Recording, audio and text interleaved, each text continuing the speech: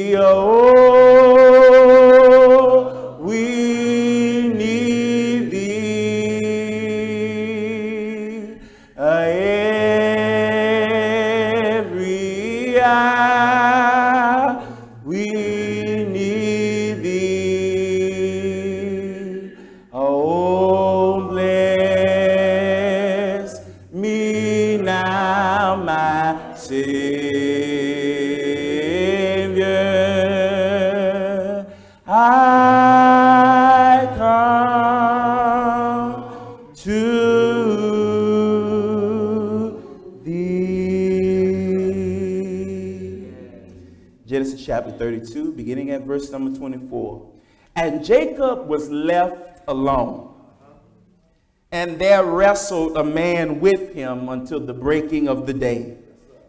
And when he saw that he prevailed not against him, he touched the hollow of his thigh, and the hollow of Jacob's thigh was out of joint as he wrestled with him. Talking about a handicap match. And he said, Let me go, for the day breaketh. And he said, I will not let thee go, except thou bless me.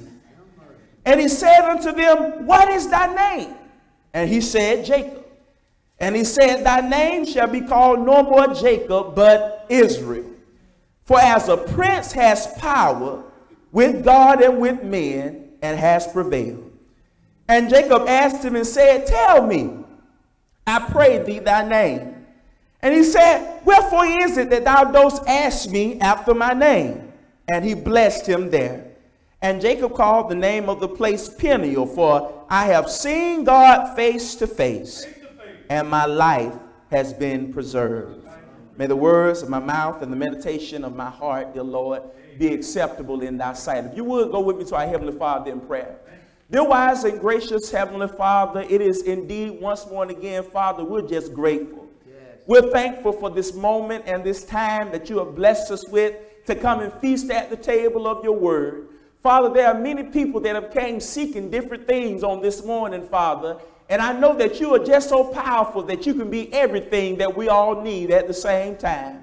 Father, I ask at this time that you would hide me behind your cross, that no flesh would take any glory in that that you ought to receive.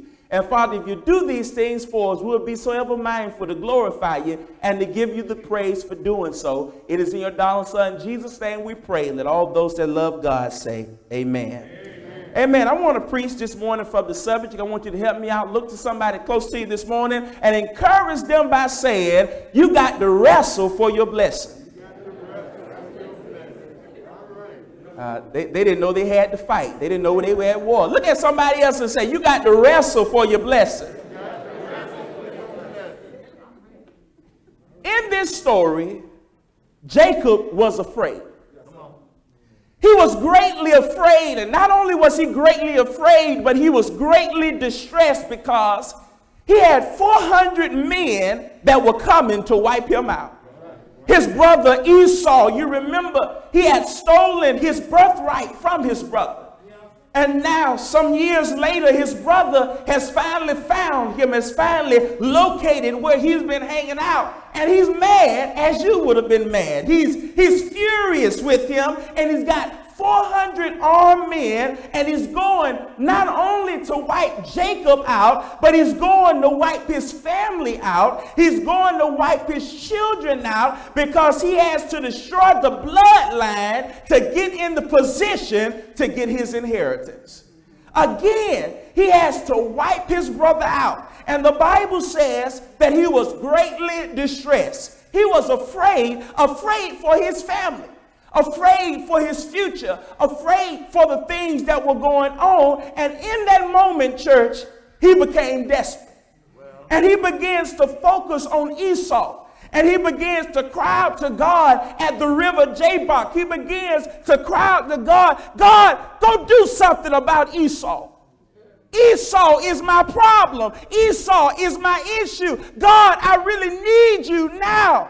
I'm in a desperate situation. I'm afraid of what's going to happen to me if you don't handle Esau. Esau is on his way. Esau is coming to kill me. God, do something about Esau. He's my problem.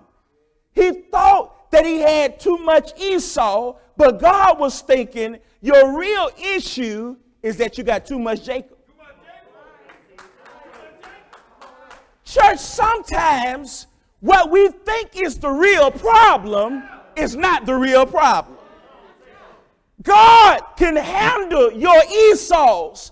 God can handle whatever has come to stop and hinder you. God was saying, You don't have a problem that I cannot handle. The issue is not too much Esau, but too much Jacob. But when I get through with this, by the time I finish wrestling with you, you shall no longer be Jacob. You're not going to leave here the way that you came. You're not going to leave here struggling with the same issue that you struggled with because I'm going to so touch you. I'm going to so transform you. Then he says something powerful. If you look it up, if you look and get a few other commentaries to look up this verse, he says, I'm going to change your name. And you shall no longer be called Jacob, but I'm going to call you Israel, which means prince with God. And then, church, he makes this promise, and it's powerful. He said, For you shall have power with men, with God, and favor with men. Power with God and favor with men. Church, God has got a plan and a purpose for every person who is listening to me right now. God wants to make something useful, something influential, something powerful for every person under the sound of my voice right now. God is wanting you to understand that He can bless you with something called a blessing. Church, it's a supernatural force on your life that gives you power with God. And it gives you favor with men. And it causes the blessing to come over your life to such a degree that even if people try to curse you, and even if haters just start hating on you, even if people start attacking you, there's a blessing on your life that God says because they have wrestled and they have desire for what I have for them, I'm going to give them power with God, and I'm also going to give them favor with men. Everybody say power with God and favor with men. You remember the Bible said in Hosea that he was weeping and wrestling. Weeping and wrestling. Why? Because he was a desperate man. And it's time for us, church, to get a little bit desperate. I want to say to all of us that are in the room that all of us, that the men in the room, that the women should not be the only ones that shed tears and weep. But there comes a time when we as men, we need to wrestle with God for our families. I don't hear nobody. And, and it's okay, church, to weep sometimes because we try to act strong in front of everybody. But sometimes, if you be honest, you tremble on the inside because you don't have all of the answers. But you can go and you can get by yourself and you can wrestle with God on behalf on your family. You can wrestle with God and you can weep all night. You can wrestle and weep until God blesses you. You know you're desperate when you're wrestling with an angel. That ain't nobody to play with. I know we like to think of angels as the cute little people that's just flying around on the little wings, but that's not what angels really look like. You know you're desperate when you wrestle with an angel. Jacob wrestled with the angel until it was a draw. It was a tie. This is crazy. They're not even in the same weight division. The Bible said in Psalms 8 and 5 that he has made man a little lower than the angels. Psalms 120 said, Bless the Lord, O ye angels, which excel in strength. One angel killed 185,000 men in the Old Testament. And yet, this man is so desperate that he wrestles and he weeps with the angel because he said, I can't just let my family be attacked and I can't just let my life just not matter and something's not right and I need to change and I need something in my life that's forever going to be changed. So I'm going to stay here until you bless me. He's wrestling church until it becomes a draw. How is that possible? You've seen the stories, I've seen them, where somebody has been in a terrible accident sometimes. Maybe it's a parent, and in desperation, that man or that woman, uh, maybe it's something, a car or something is falling over that child, and that person would have never thought they had the strength to do that. But because they are caught up in the moment, you've seen people lift up stuff that they never thought that they can lift up and do stuff because they are acting out of desperation. He was wrestling not for bragging rights, he was wrestling not for this this and that. He was not wrestling for fun. He was a desperate man and he was capable of doing desperate things. And what I'm trying to say to you, church, is when you're really going to get change from God, and when you're really going to go more than the surface level, when it's gonna be more than just happy and clappy. And then you go right back to who you were and what you were in the fear and the desperation, the sin or whatever it is that you are in. If you really want a change to take place in your life, you got to lose that casual state of mind and you got to get desperate with God. You got to say, Lord, I'm wrestling and I'm weeping. And, the, and, he, and he lost that casual state of mind that he had. Y'all, the angel is closely monitoring the fight. He could have killed the man at any time that he wanted to. He could have took Jacob out at any moment that he thought that he wanted to do. But notice something. God is not interested in destroying you and hurting you. God is interested in changing you. He's focused on one thing. He wanted a change in Jacob. He could have killed him, but instead he just held on to him and let him fight. He wasn't hitting him, he just sitting there let him fight by himself. Let, it, let him fight until there was no more Jacob left on the inside of him. His name means liar. His name means deceiver. You know, he stole the birthright. He came out of the womb as a twin, his brother Esau. And when he came out of the womb, the Bible said that he had his brother by the heel and he was trying to remove him from the blessing, from the birth. Something in him was always lying and deceiving and was just a little bit, as we say, shady, you know. He was partly cloudy, if you get my drift. There was always, he was that kid, you know, that always something just not right about this guy. This was Jacob. And I want to get the Jacob out of Jacob so that he can reach his full potential. There's the reason that God allows us to struggle, the reason that God allows us to have pressure and weeping and wrestling is not to kill us, it's not to crush us, it's not to destroy us, but to change us. Church, we are not prone to change when we're comfortable. We are not prone to change when we are on top of the world and living it up. We are not prone to change when everything is going our way. And God said, I'm more interested in your character than I am you being comfortable. He's more interested in his will and in his plan. And he wants to get you to a point to where he says, hey, you know that old guy that was always playing the game? When I get through with you this night, you'll no longer be Jacob.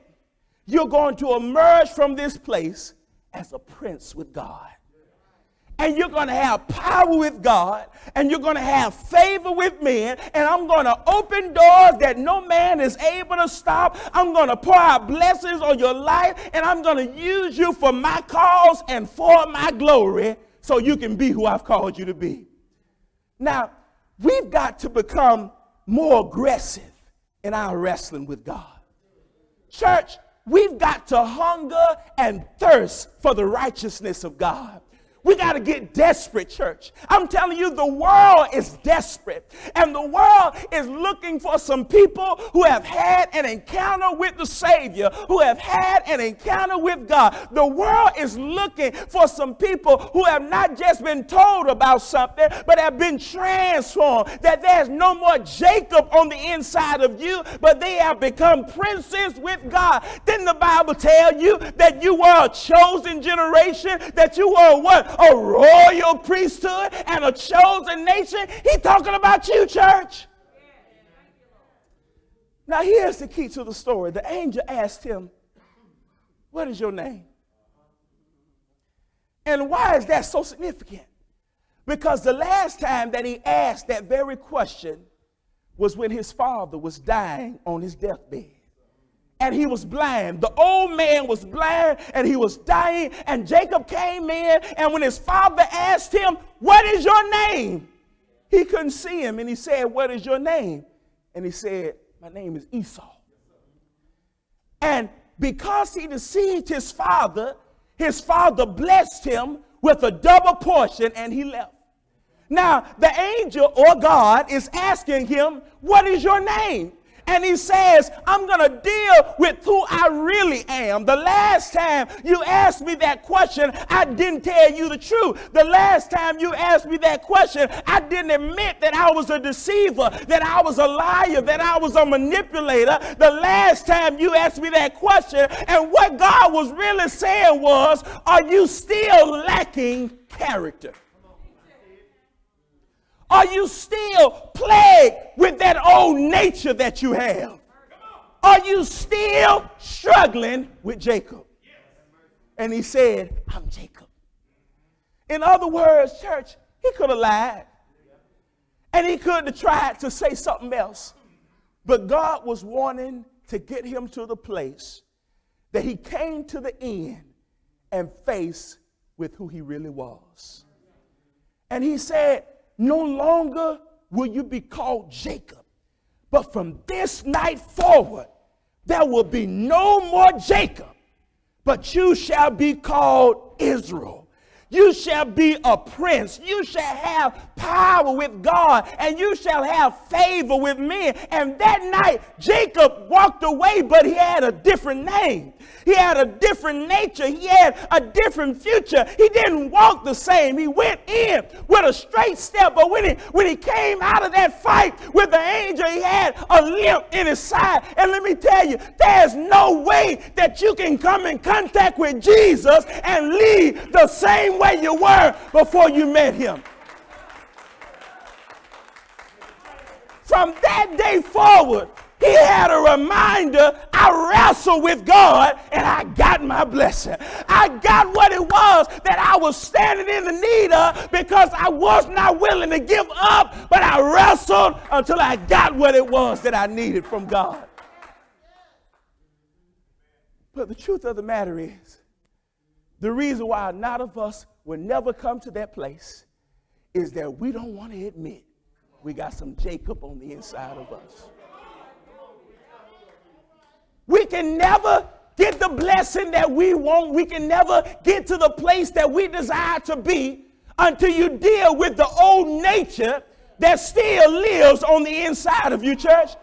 Ain't no use and you praying for God to give you a new environment, to take you to a new place. And all the while you going to the new place, you packing up all that old lies and all the old deceit and all the old misconception and trying to drag all that old stuff to the new place. You might as well stay where you at. He said, I will not let you go until you bless me. And, and what you'll notice, church, is that he could not bless him until he got him by himself. He couldn't do it around everybody else. Because, truth be told, if he would have got called out in front of his family, you know, pride might have would have wanted to come up and he might have wanted to lie and say, no, I am who I said I was. I didn't do that to keep up appearances. But I pray to God that we as a people would get beyond trying to keep up appearances for people and trying to live our lives for people so that people will be pleased in what you do and like what you live. Because at the end of the day, they can't give you the blessings that you are standing in the need of. But God is the only one that can bless you how you are standing in the need of being blessed. He could have lied. He could have did that, but he said, you know what? I'm Jacob. I'm Jacob, the one that lied. I'm Jacob, the one that deceived.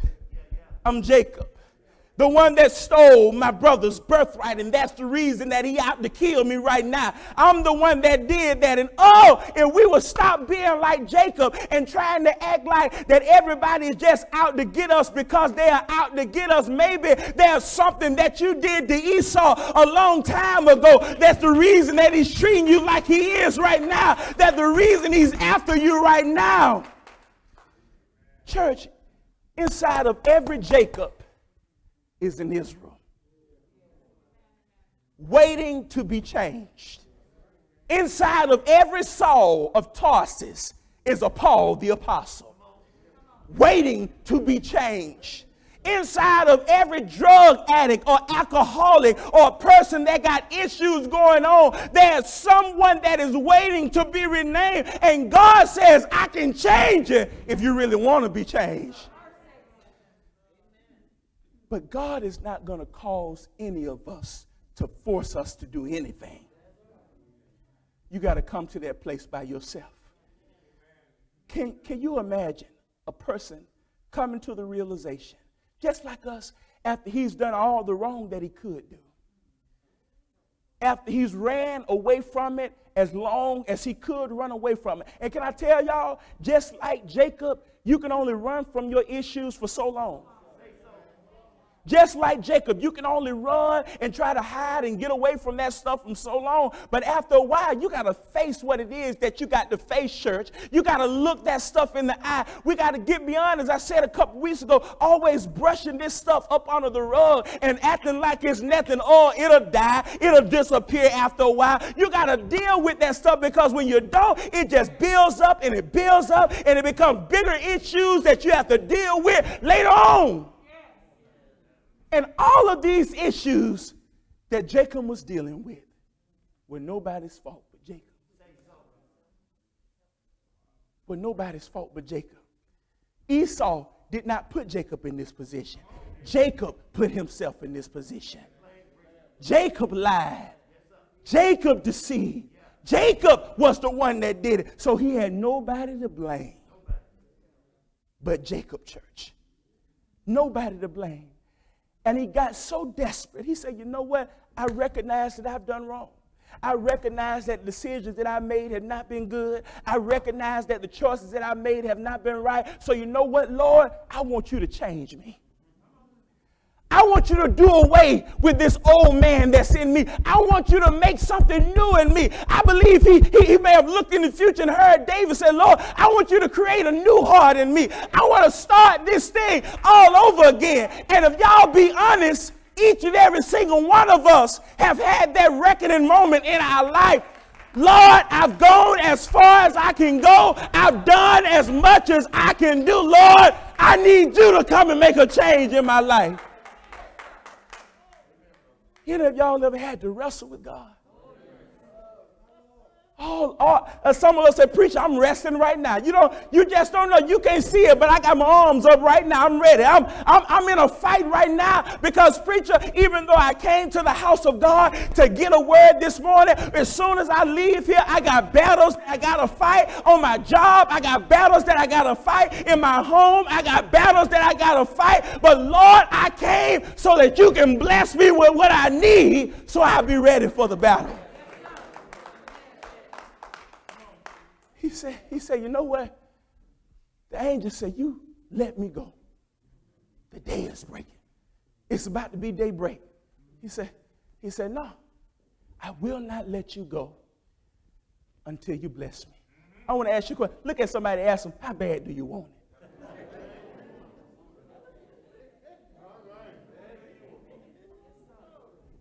How bad you want it will be shown in how hard you go after how bad you want it, church, will be shown in the efforts that you put towards it to make it happen. How many of y'all really are desiring to have strong faith in God? It's going to be shown by the effort that you put towards it. How many of y'all really want to be blessed by God? It's going to be shown by how you conduct yourself, by how you're trying to live your life for Him, by how you're trying to hold up and exhort His name above all things. Because He said, if I be lifted up above the earth, He said, I'll draw all men unto me. And if we'll do what it is that he's called us to do, that is to seek ye first the kingdom of God and his righteousness and all these other things, he said, they'll be added unto you. It's a package deal, church. Tell some, tell them you got to hook up with Jesus. You got to hook up. You got to hook up to all spiritual blessings, the Bible says, they are found in Jesus Christ. And I wonder when will we, as the people of God, get desperate enough to be like Jacob? To when we have things going on in our life, we don't just pray one time and leave them alone. That we don't just consider those issues for a moment and then forget about them, but we wrestle with God. Lord, I'm not going to stop calling. I'm not going to stop pleading. I'm not going to stop asking until you bless me. Lord, uh, Lord, I know my child may not want to hear what it is that I have to say, but Lord, I'm not going to stop until you intervene and until you cause a change to happen in their life. Lord, I know that I got different issues in my relationship, but Lord, I'm not going to stop calling. I'm not going to stop asking until you bless me. We too easy to give up. Some of us would have gave up once our hip got knocked out of socket. You know what I mean? Oh, Lord, help, Jesus, somebody. He done knocked my hip out of socket. But he had a reminder every day of his life from that moment forward. I wrestled with God. I warred with God. And he blessed me because I was willing to war with him. Yeah, I, I preached the same text my first time coming here. You remember Dickie Campbell? What was it? Let's get ready to rumble. And all of us need to be ready to rumble, church. Because can I tell you that you got an adversary that is already gone out as a roaring lion seeking those that he may devour, and he is not taking it easy on you, so you don't need to be taking it easy on him. You need to go to your house today, pleading the blood over your house. You need to go into your house today, get down with your wife and get down with your husband, and y'all need to start praying and say, We're gonna work this thing out, we're gonna get this thing together. You need to go to your children and start praying for them and say, Death, Satan, the Lord rebuke you. You are not going to have a way in their life. Lord, I'm going to wrestle. Lord, I'm going to continue to fight. I'm going to continue to put forth the effort until you bless me. Ask somebody, do you really want to be blessed? Lord, even though folk calling me crazy, you know what? I'm still going to service until you bless me. Yeah, Lord, I'm still going to put forth the effort until you bless me. Lord, I'm still going to give up my means, even if they were two mites. Guess what, Lord? I'm going to give up my means until you bless me. Lord, I'm going to serve you, Lord. I'm not just going to be partial in my service, but I'm going to serve you with all of my heart, all of my mind, and my body until you bless me.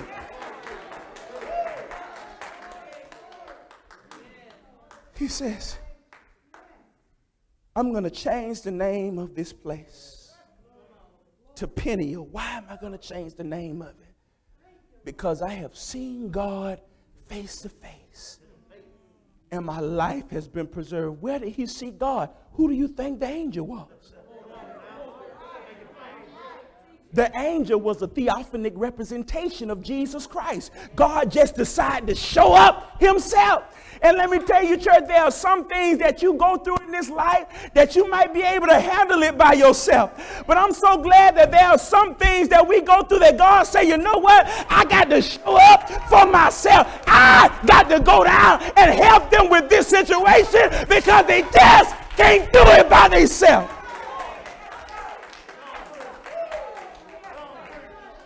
I'm going to change the name of it because I didn't just fight, I didn't just wrestle, but I got my blessing. He preserved my life, even though I had seen him, church. And can I tell you, anybody in here that's ever had to wrestle with God, you'll be honest and say, sometimes, preacher, it ain't a one round fight. Preacher, sometimes you go into overtime. Sometimes you got to Sometimes you know what, just like a game, after you get to the fourth quarter and there's somebody at the same school, you just got to continue to go into overtime. Sometimes you got to continue to fight, and that's our issue. We got enough strength for a two minute fight, for a three minute fight, for a four minute fight. But how many y'all can say, teacher, there's something, it's going to take weeks, it's going to take months, it's going to take some time for you to get through it, and you got to have strength to war and to wrestle until you get what it is that you stand in need of. Lord, I'm not going to stop. Tell somebody, don't stop. Get it, get it. Don't, don't stop. Don't stop. You got to persevere. You got to put forth effort, church. This stuff is not just going to happen by accident. The blessings of God are not just going to show up at your doorstep. Here I am, pick me up. It's not going to happen like that. There are some things that you're going to have to fight for. The Bible says that the kingdom suffereth violence, and the violent take it by force. There are some things that we're going to have to wrestle for, church we're going to have to fight for. And I'm not talking about physical fights, so put your hands down. I know you was ready. I know you was ready. Put, put your weapons down because this fight that I'm talking about is going to be fought by prayer. This fight that I'm talking about is going to be fought by conversation with God. There are certain things, church, that your hands cannot fix. There are certain things, church, that these material things that we have cannot fix. There are certain things that go not out but by fasting and by prayer.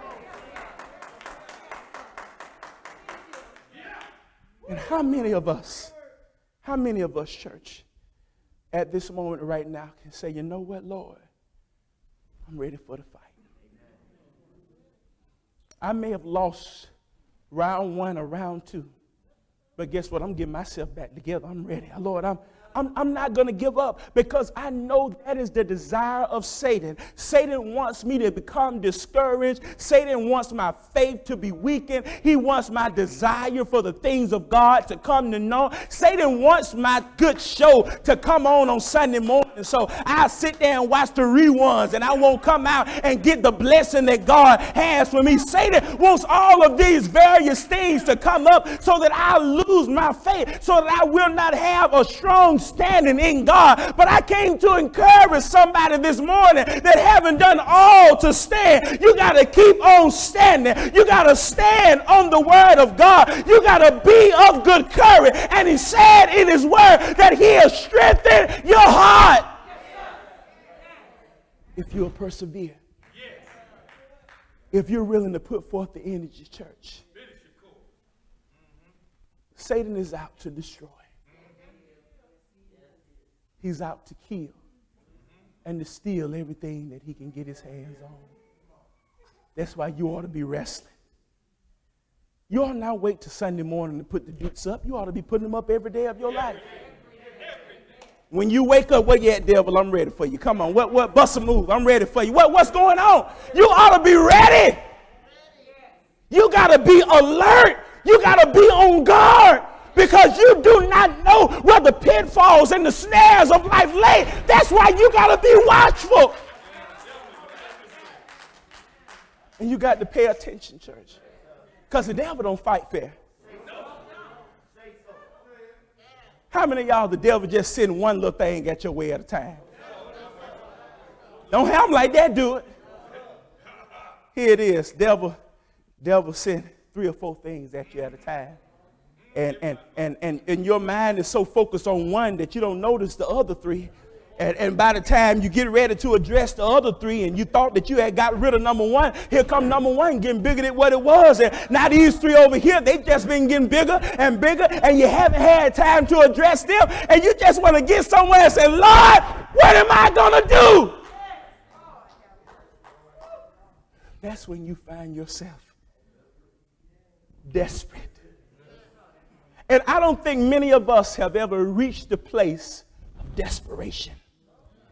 Because when you really get desperate for God, you'll shed some tears every now and then when you really get desperate for God, you don't care what nobody say about you. You don't care how nobody looking. You'll open up your mouth and you'll bless the name of God. When you really get desperate for God, when you really know that you are a mark one, you have somebody that's after you. The devil has called off the little imps and he sent out the big dogs after you. And you recognize that the devil is after me. That's why I got to be watchful. I got to be alert so that I can stand in the day of testing. You got to fight, church. You got to put forth the effort. You got to be willing to go to war. You got to be willing to endure some things. And as I say often, David messed us up because we got through reading what David was saying, and now we're walking around here thinking, oh, weeping may endure for a night. Joy gonna come in the morning. That's our favorite line. Somebody lose a loved one or something like that. Oh, weeping may endure for a night. Joy coming in the morning. Tomorrow will come and the thing is worse than it was on day one. Day three, the thing hasn't went anywhere. Here you go three months into a situation. It has not changed and it has not got any better. What am I supposed to do in that stand? Am I supposed to give up? Am I supposed to just lay there and let what happened happen? No, my job is to wrestle with God. Now understand me. I ain't telling none of y'all to get violent with the Lord. Don't, don't, don't, don't, don't, don't, don't take that. Don't, they ain't gonna turn out good. The, our arms are too short to box with God. Let me tell you, it ain't gonna work. You're gonna be sitting there looking crazy, swinging by yourself. You, but you gotta fight on this spiritual playing field that I'm talking about, church. For the Bible says that we wrestle not against flesh and blood, but against principalities and rulers and spiritual wickedness that is set up in high places. That's what we're fighting against. So, can we stop fighting against each other and start fighting our real enemy? Start fighting the one that's really after us, that's really trying to destroy us, that's really trying to make sure that we miss heaven. That's his desire, church. That's his desire, church. So, whatever it is that you are standing in the need of today, you can't look at me and say, Preacher, I ain't standing in the need of nothing because we are all standing in the need of something. And if all of us can be honest, you can say, Preacher, there have been some things that I've been praying to God and I've been asking God to do for a long time right now. And, and it may not have gotten done just yet, but I came to encourage somebody this morning. Don't you dare give up. Don't you dare throw in the towel. Don't you give up. He said, Be not weary in your well doing, for in due season you're going to reap if you do not grow weary. You got to be strengthened. But here's your, here's your problem Stop looking around to other folk to give you strength. You remember when David came back after war and David found in Ziklag that his wife and his children, everything had been stolen from them. And now the men that were with David and fighting with David and fighting for David are trying to kill David because they've lost everything that they had. And the Bible says that David encouraged himself in the Lord. Deacon, can I tell you, you ain't going to always have nobody there to encourage you. You're not going to always have nobody in there to tell you, hold on just a little while longer. Everything is going to be all right. There are going to come those moments you can say, preacher, sometimes in the wee middle nights of the hour where you just become so overwhelmed by different feelings that you are feeling, church. That's why you got to learn to encourage yourself in the Lord. You cannot be a person that waits until Sunday morning to have faith that can move mountains. But on Monday night, when you are facing adversities in your own home, you got to have faith that can say, The Lord is my help. The Lord is my strength. The Lord is the one that I'm going to look to. My foot shall not be moved, but I shall be like a tree that's planted by the rivers of the waters. I shall not be moved. I shall not be moved because I'm with Jesus. I'm going to fight and I'm not going to be moved. I'm going to wrestle and I will not waver. Because on the other side of this, there's a blessing. Not with your name on it, but it got my name on it. Thank you, Jesus. Not yours, but it's mine. And can I tell you what God got for you? I can't stop it. I can't block it. The only one that can stop that is you. Seen God face to face. And my life has been preserved. How many y'all can honestly say, Preacher, I've been changed? Preacher, I've been changed. Preacher, there's something on the inside of me now. Preacher, I didn't used to have this thing, but now it seems like when I find myself getting off track, I got this little something on the inside of me trying to trying to pull me back to where I need to be. Preacher, I didn't always have this feeling. Preacher, I used to I used to juke and jive all night long, but preacher, now all I want to do is just have a moment to offer the Lord a praise. Preacher, I used to drink everything that I could get my hands on. Now I'm I'm sipping on the blood of Jesus. Now there has been a change in my life. Because I wrestle with God. And church, you becoming that type of person doesn't just happen overnight. It comes after you have wrestled with God. It comes after you have persevered. And not just wrestled but when you won. Yes. When you have gotten the victory. And can y'all say, preacher, there have been some things I didn't understand. Why I had to go through it when I went through it. I didn't really understand why I had to endure it when I had to endure it. But now I look back on it and say, Lord, I give you glory and Lord, I give you praise. Because if it had not been for me enduring that light affliction, I would not know you the way that I know you right now. Lord, had it not been for me being ran through the ring and flipped upside down and thrown left and right, I would not know you the way that I know you right now. And there would have never been a change in the life of Jacob had he not met with God. Can I tell you, ain't no change gonna come in your life until you meet with God. Until you have that encounter with God. I'm not talking about what somebody told you, somebody else's experience, but I'm talking about the experience that you have had with God. All of us in here right now can think back to a moment where we can just know for sure, you know what? God met me where I was. It wasn't nobody but God that changed me. I tried to change myself and I couldn't do it, but when God got his hands on it, he made a difference in my life, church. Be willing to persevere. Be willing to fight more than one round. Be willing to pray more than one prayer. Be willing to endure be willing. You ought, you ought to be like a telemarketer with God. Y'all know what to tell you. They calling you all time of the day, all day long. I'm talking about 8, 9 o'clock at night now. They calling. First thing in the morning, that you think something wrong. It's a telemarketer calling. We've been trying to catch up with you about your warranty. It's about to be overdue.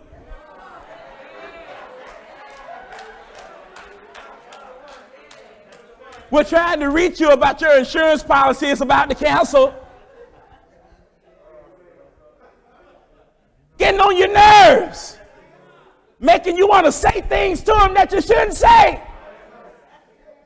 But just like they get on your nerves, you need to start getting on God's nerves. You need to, you need to start taking your prayers.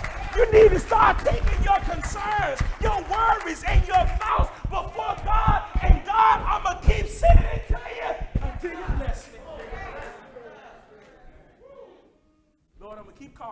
about your extended warranty until you bless me.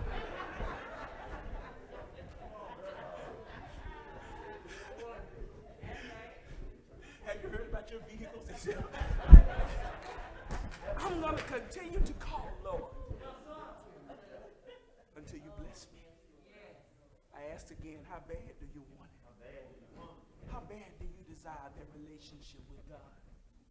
How bad do you desire strong relationships in your house between the husband and the spouse, between the children? How bad do you desire to have a good work environment? How bad do you want that stuff? It's going to show by the effort that you put towards it to make it happen. It's going to show by how much you find yourself in private time on your knees. And sometimes, church, I find myself not on my knees, but just flat out on my face. Sometimes you just got to lay it all out, church. Lord, you know me as I came into this world, and you know me as I am right now. Lord, you know where I'm going, and you know how I'm going to get there. So, Lord, I need you to show up and to help me right now. That's the way, church.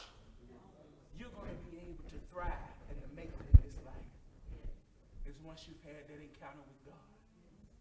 Because once you have that encounter with God, you will never be the same. You may go back and do some of the same stuff, but you will never be the same individual again once you have met God and once he has made a real change in your life. Somebody this morning has not yet even experienced that miracle working power of God. But as the song says, can I tell you, God is the only one that can take a black soul, dip it in red blood, and it come out white as snow. The only one, church, that can take that black soul of yours and convert it and transform it to be what he, did for what he desires for it to be, church. God desires to make a change in your life on this morning. And can I tell you, just like he changed Jacob, he can change. If he could change the liar, the deceiver, the thief, he can change you as well. He can make a difference in your life. Don't let nobody tell you that you're so far off that God can't do nothing for you. That's a lie and the truth ain't in it. God does his best work with the folk that we think God can't do nothing with.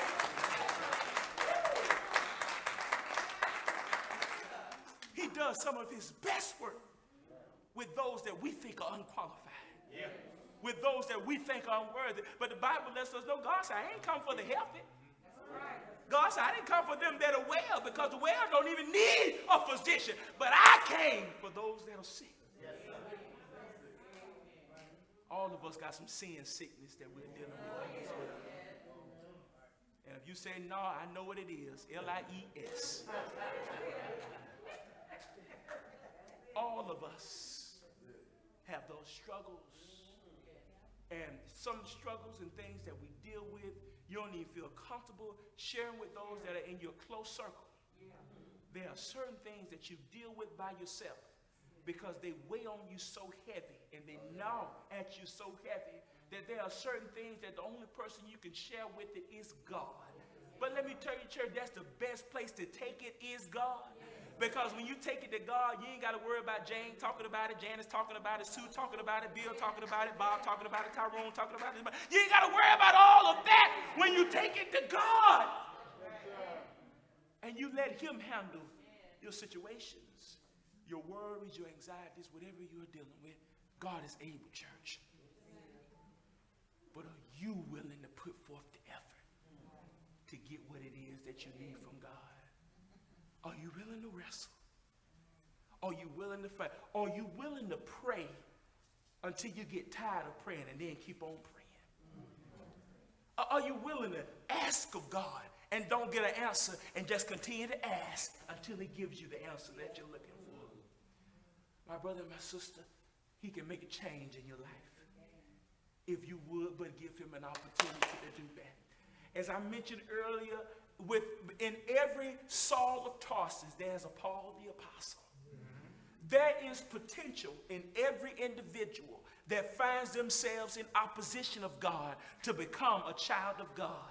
Can I tell you that God can take somebody off the street that don't know nothing about him, don't know nothing but about a bottle, and God can take that person and make them the best preacher that had ever walked across this earth. That God can take somebody off the road that's been struggling with addiction, and God can make that person be the best deacon that you'd ever seen in your life. God can take somebody that's been struggling with different things in their life, and God can clean them up. How do I know that? Because He did the same thing with us. Yeah, yeah, yeah. Cleaned us up made us new. They said they ain't them, Deacon Campbell, and such was some of you. That's right. He changed us, made a difference in our lives. And my brother and my sister, if you have not yet experienced that miracle working power of God, can I tell you, the same power that changed each and every single individual in here is able to change you as well. You are not too messed up that God is not able to clean you up. You're not too far out that God can't reach you. God is willing, He's ready, and He's able to make a difference in your life. The question is, are you ready today? Are you ready and willing to denounce your ways, your thoughts, your intentions, to obey what it is that God has for your life? Are you here this morning, and maybe there's somebody here at this time, you have not even yet begun to experience that power? I invite you to experience that power. Can I tell you, the greatest invitation that I'm going to give you is to Jesus. Amen. You know, you can receive an invitation today from Joe Biden and Kamala Harris, and they say, we want you to come to the White House, have dinner with us. That'd be a good invitation, but that would not be the best invitation that you could receive in your life. The greatest invitation that you could ever receive in your life is come to Jesus. Come to Jesus. He says, come all you that are weary and heavy laden and guess what? I give you. He said, Take my yoke upon you and learn of me, for I am gentle and lowly in heart, and you shall find rest for your souls. He's that same God, church. God ain't changed. That's what I love about it. He's not like us. He don't change with the seasons. He God is the same yesterday, today, and he'll be the same even forevermore. He said, Heaven and earth are going to pass away. But my word, guess what? It's still going to be standing. And that word, church, is the same word that's going to judge us in the last day. He says in that day, a book and another book, they're going to be open. And we're going to be judged by those things that are written down in the book. Things that we might not have seen. Guess what? God seen them. He not only seen them, but he was writing them down. He was taking note of them. That's why we ought to be repentant Christians every day of our life. Before you go to bed at night, Lord, I don't know if I did sin, but if I did sin, Lord, whether it be my omission or commission, Lord, I want you to forgive me. Because if I die in my sins, where you are, I cannot come. So, Lord, I want you to forgive me. And not only do I want you to forgive me, but when you forgive me, I want you to then create in me clean heart and renew a right spirit within me. My brother, my sister, God is able to change you today. He's able to make a difference in your life if you'll give him that opportunity. He loved us enough not to just come and give us all of these things, but he loved us enough to set forth a pattern for us that we are to follow. I'm so glad that he loved us enough that he gave us the B-I-B-L-E, the basic instructions before leaving earth. Yeah. I'm glad that he gave us what we need so that we can find direction in this life, so that we can have guidance in this life to face what we have to face and to deal with what we have to deal with. And I'm so glad that he did not say, you know what, I give you salvation, but it's going to cost you 10000 I, I, I, give you salvation, but it'll cost you 25. Lord, we be pitiful, walk around here looking, I know I be looking crazy. We walk around here looking crazy, but I'm so glad that God has given us a free gift. But it came at a mighty high price. Because it cost our Savior his life.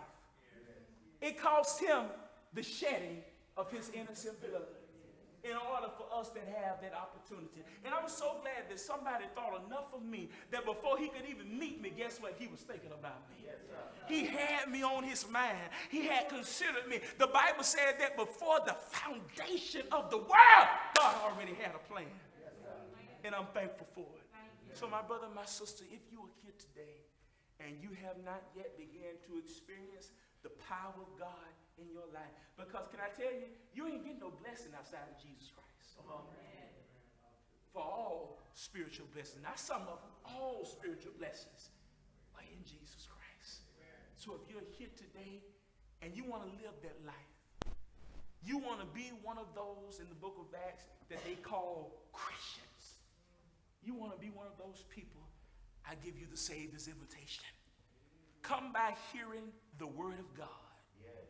The Bible says in Romans chapter 10 and verse number 17, so then Faith come by hearing, and hearing by the word of God. After you have heard the word of God, you must believe what it is that you've heard. He said, except that you believe that I am he, you shall all likewise perish.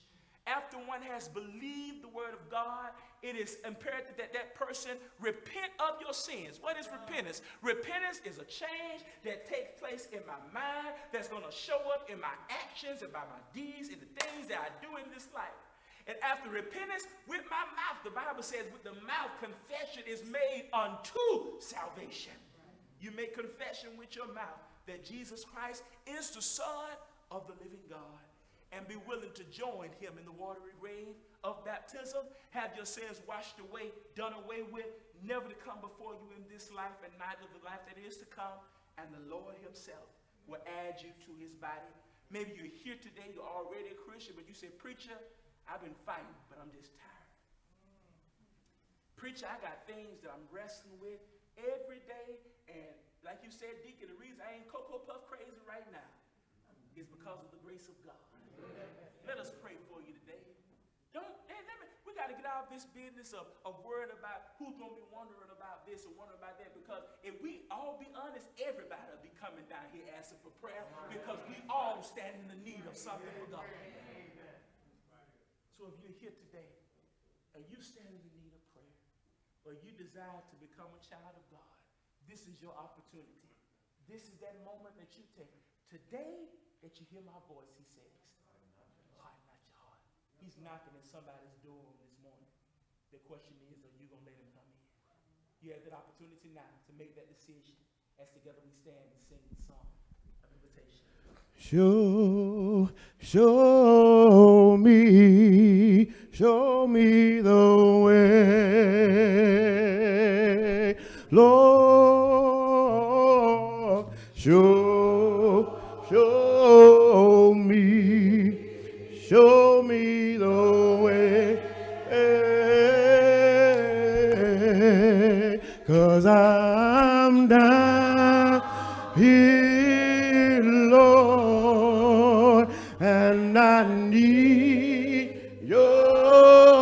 power.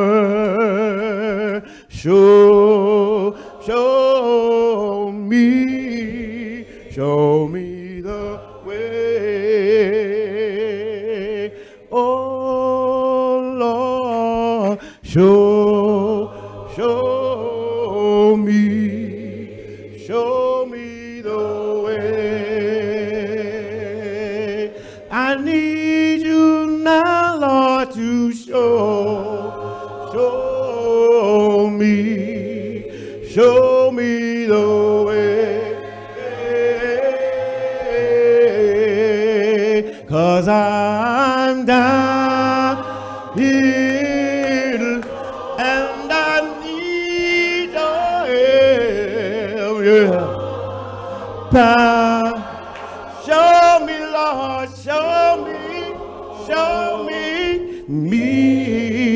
show me the way.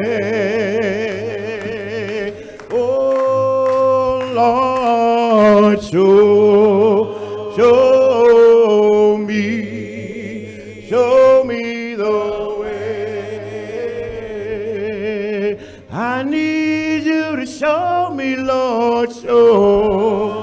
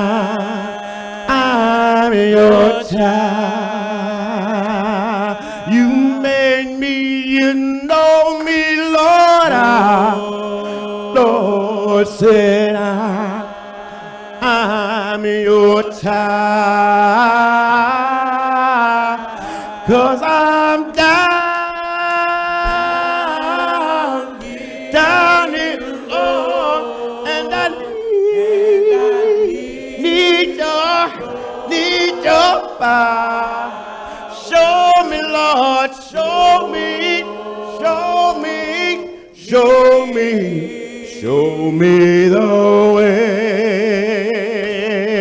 Say, Lord, I'm your child. Lord, I'm your child, Lord.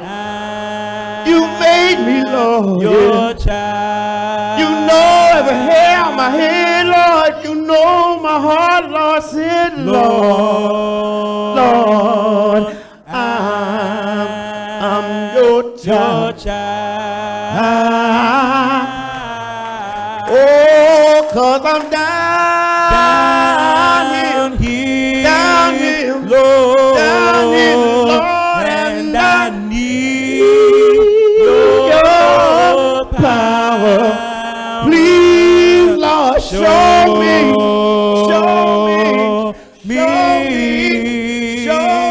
the way.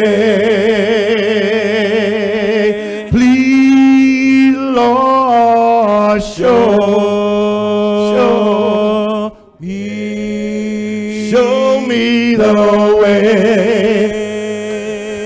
I'm lost and I'm struggling, Lord, show,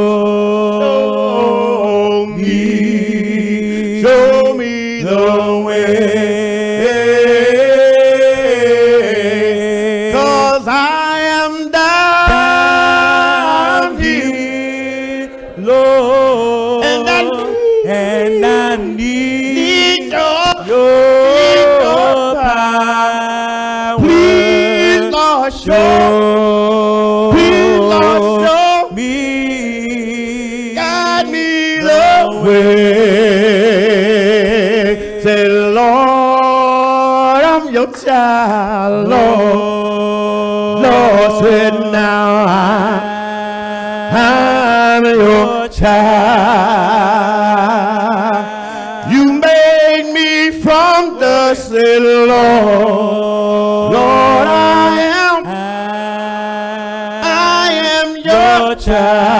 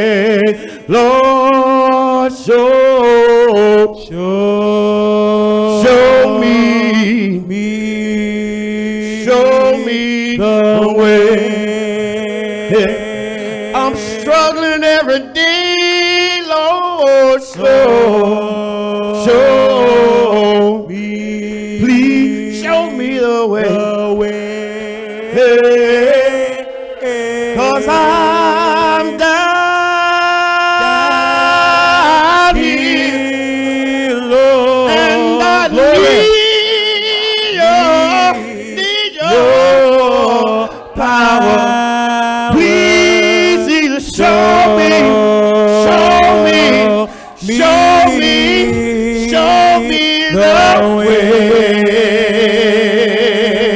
Lord. Glory, I'm glory. your child. I'm your child. I'm your child. Your child. Still do wrong. But Lord, I, I'm your, I'm your child. Your child. Don't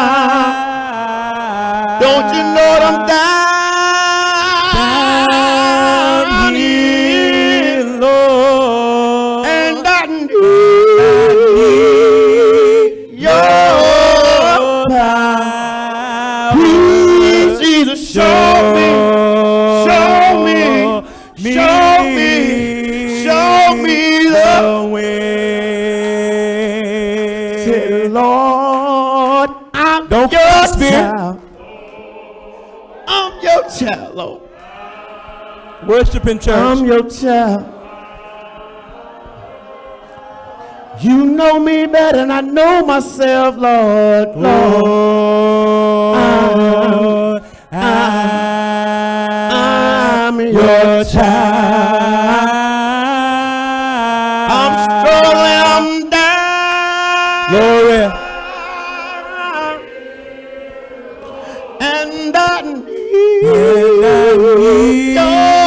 Your, power. Please, Jesus, show me, show me, show me, show me the way. Can we sing one more time? Lord, show, show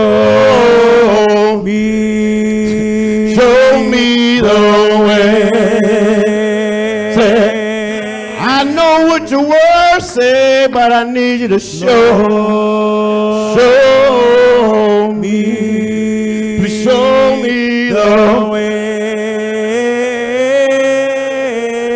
Cause I'm down,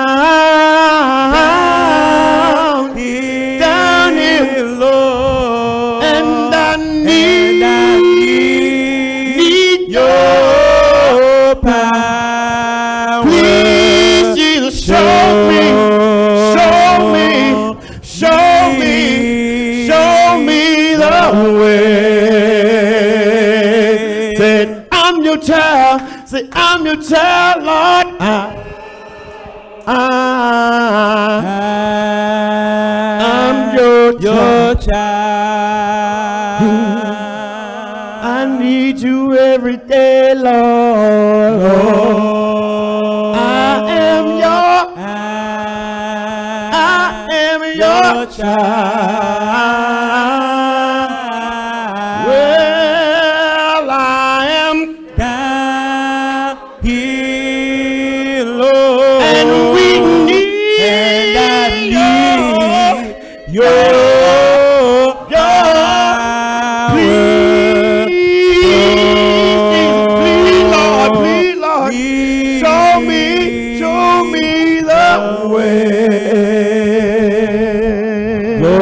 God. Hallelujah. Glory to God. Hallelujah. Glory to God. Glory to God. Reminds me Thank you, when Jesus. John was out on the island of Patmos and the Spirit was talking to him about the seven churches of Asia Minor. And the Spirit told him, said, Tell them to correct those golden candlesticks, or I shall come quickly. I want to say, Lord, come quickly. Come quickly, Lord. We need you. Thank you. Thank you so much. What an awesome time we've had praising God. Thank Brother Peterson for for the power. Thank him for allowing God to use him and the Holy Spirit in a special way to deliver his word this morning.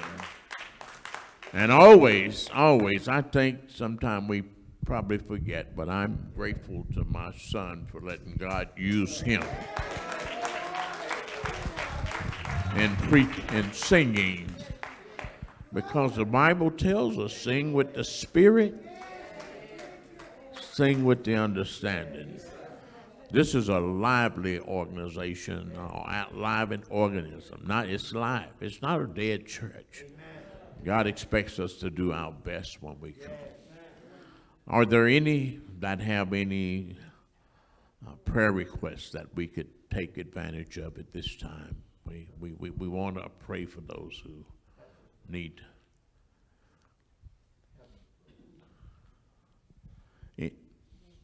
Listen, we thank you so much. Uh, I'm going to take my seat.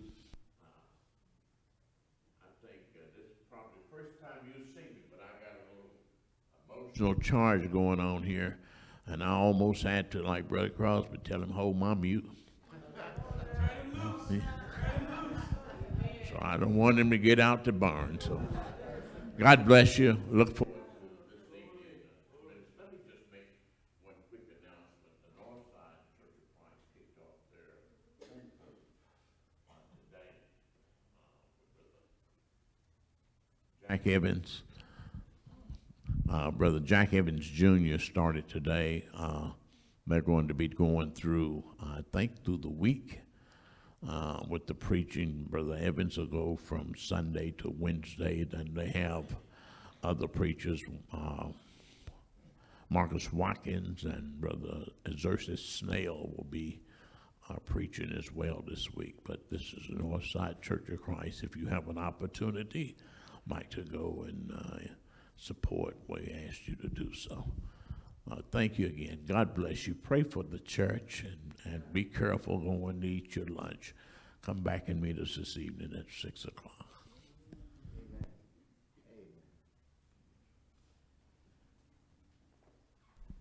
Amen. Let the church say amen. amen. What a wonderful time we had on this morning. God was truly in this place.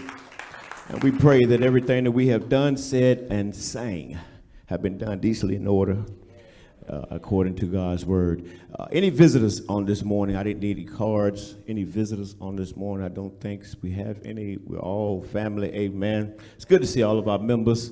Uh, we want to remind you uh, to to to just think on, on on the message on this morning. What a word from God on this morning. Think on the service. Think on the things that we've we prayed about, prayed for, the people we prayed for, the sick and the shut in, uh, those who are going uh, through uh, bereavement at this time as well. Uh, I think that's all we have this morning. Any other announcements? Good from the education? Yes, sir.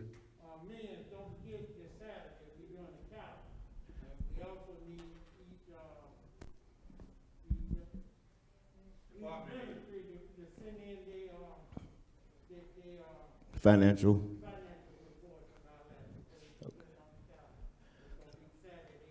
Saturday, 8 o'clock. All brothers. Saturday, 8 o'clock. Here at the building? Okay, not, not at Three, three Forks?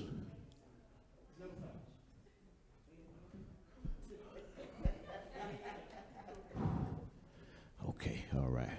All right. Any other announcements? Listen, it's good to see all of you. Uh, be careful. Oh, I'm sorry. One more.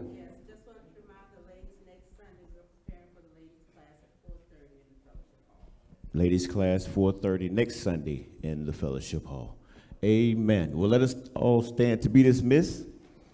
Uh, i'm going to ask my brother to come and give us a dismissal prayer as we stand. What a wonderful time we had on today I would like to take this opportunity to thank you. Thank you for tuning in today and being a part of our worship services. We pray that those things that were said and done on today will benefit and blessing to your life, that it will help you to grow as a